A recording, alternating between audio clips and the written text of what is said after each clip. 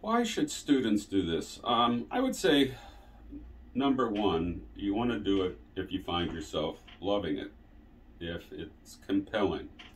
Uh, if you find yourself unable to stop asking the philosophical questions, you're probably going to do that for the rest of your life. Uh, and it has added to my life a, a, a kind of joy uh, that I would wish upon everyone. Uh, secondly, I don't think uh, one goes into philosophy um, with the intention of becoming a professor of philosophy. At least I didn't. Uh, and as I can remember some of the people I knew in graduate school who had completed their master's and then went on to do something else other than a doctorate in philosophy. Uh, some of them are lawyers. Uh, some of them are investment brokers.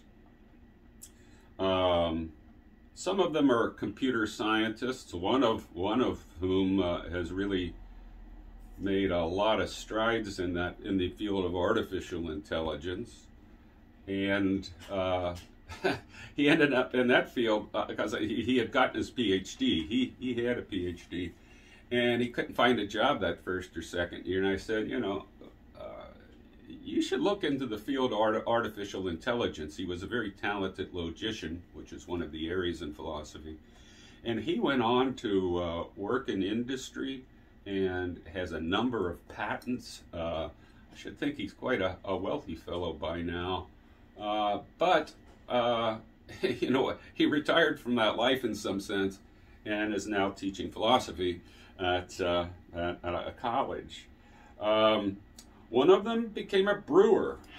Um, he was, uh, we were in graduate school at just the beginning of the homebrew craze. And uh, he, he invented a number of products that uh, during a time when there weren't all these, you know, mark, uh, products on the market for someone interested in home brewing. You, you more or less had to tinker it together yourself.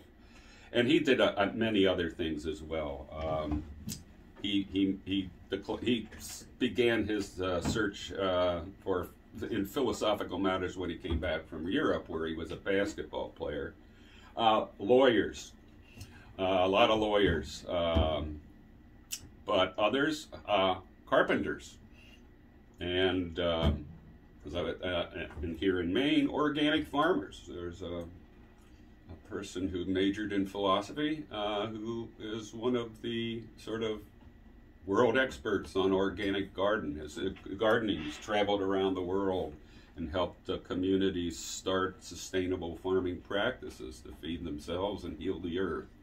So I think uh, if you find yourself interested in a lot of things and you find yourself loving philosophy, uh, then you should major in it. And I think what you'll get is uh, your desires will broaden and you'll find something in which you can do something that you'll love, you'll find meaningful, and will make the world a little better.